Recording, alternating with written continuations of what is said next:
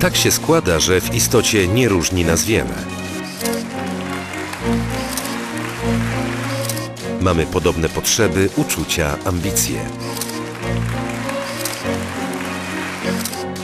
Czy wszyscy jednak mamy równe szanse? Zaufaj osobom niepełnosprawnym intelektualnie.